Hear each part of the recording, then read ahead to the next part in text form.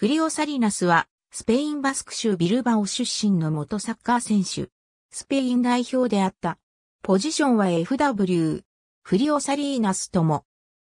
大柄ながら高いテクニックも兼ね備えていた。弟のパチサリーナスもサッカー選手であり、ディフェンダーとして、アスレティックビルバオやセルタデビーゴなどでプレーした。フリオとパチはどちらも1982から83シーズンにデビューしている。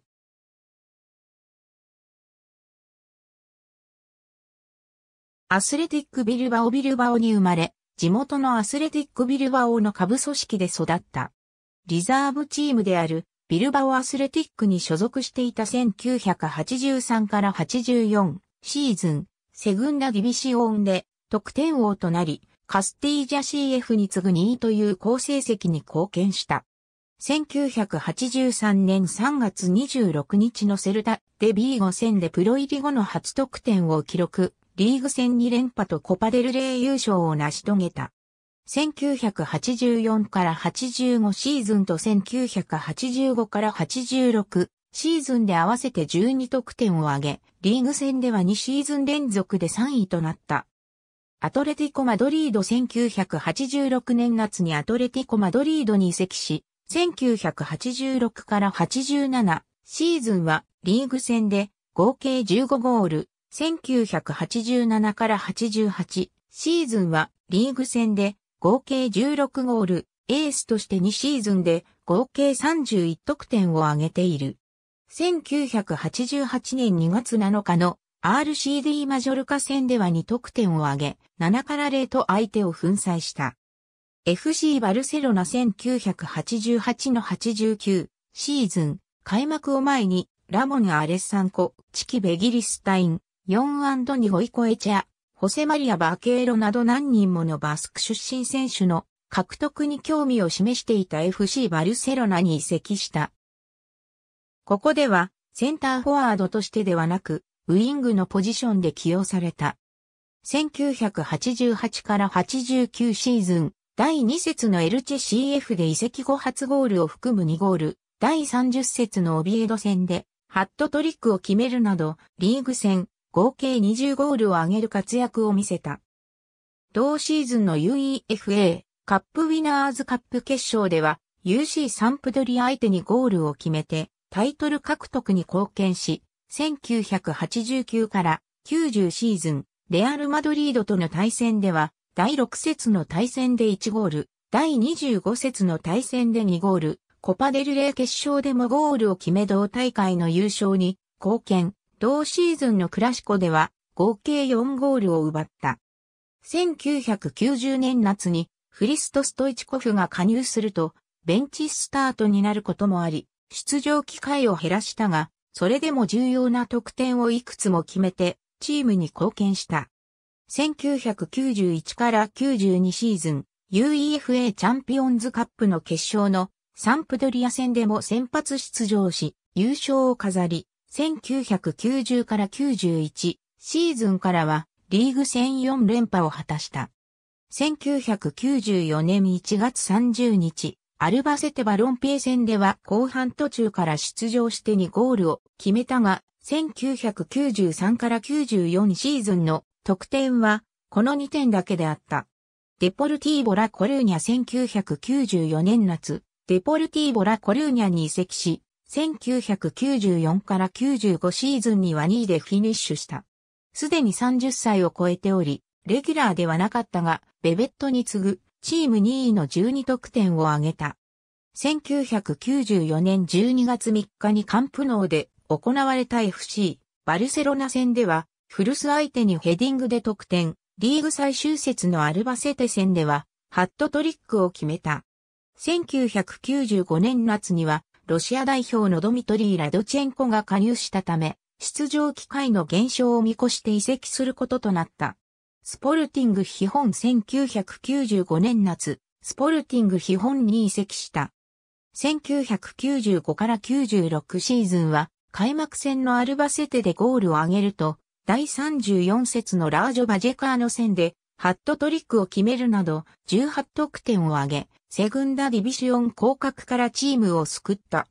スポルティング基本には1シーズン半在籍しただけであるが、今日でも基本の町では高い敬意を払われており、ファンはよくボタでオロ、セレナスボタでオロというチャントを歌う。横浜マリノス1997年の初め、同じバスク人のハビエル・アスカルゴルタ監督に誘われて、日本 J リーグの横浜マリノスに移籍し、FC バルセロナ時代にチームメイトだったアンドニ、ゴイコエチアと再び顔を合わせた。上昇時とプレイスタイルが似ているのではないかと獲得を疑問視する声もあったが、体格とリーチの長さ活かし、ゴールを量産するだけでなく、ボールキープからのアシスト役としても活躍した。ファーストステージ第8節清水エスパルス戦で J リーグ初出場を果たすと、第10節アビスパ福岡戦で J リーグ初ゴールを含む2ゴールを決めた。ファーストステージは怪我で離脱することもあったが、セカンドステージのみの合計ではリーグ最多となる15ゴールを挙げ、1シーズン合計では47試合で34得点を挙げた。1997年の第2ステージ第11節から最終節まで7試合連続ゴールで、1993年、セカンドステージ三浦和義の6試合連続得点の記録を破り、さらに翌1998年の第1ステージ第1節まで未だに破られない J1 記録となる8試合連続得点を記録している。同年のセカンドステージ第3節のビッセル神戸戦でマリノスでの最後のゴールを決めた。J リーグでは1997年8月9日のベルディ川崎戦、1998年3月28日のサンフレッチェ広島戦でそれぞれ4得点を記録している。デポルティーボアラベス1万9998から99シーズン途中の1999年1月、デポルティーボアラベスに移籍して1シーズン半を過ごした。第25節のマジョルカ戦で加入後初ゴールを含む2ゴールを挙げると、第35節のバルセロナ戦でもゴールを決めた。1999から2000シーズン開幕戦のマラガ CF 戦ではチームのシーズン開幕ゴールを含む2ゴール決め、6位でシーズンを終えて UEFA カップ出場権を獲得した。2000年5月19日、第38節アスレティックビルバオ戦で現役最後の試合出場を果たし、ゴールを挙げて優秀の美を飾った。リーガエスパニョーラでは通算417試合に出場して152得点を挙げた。スペイン代表としては3度の FIFA ワールドカップと2度の UEFA 欧州選手権に出場し、通算56試合出場23得点の成績を残した。1986年1月22日、ラスパルマスデグランカナリアで行われたソビエト連邦との親善試合でスペイン代表デビュー、代表初ゴールも挙げた。1986年にはメキシコで開催された 1986FIFA ワールドカップに出場し、5試合に出場して北アイルランド戦で得点した。1988年 UEFA 欧州選手権1988では1試合に出場した。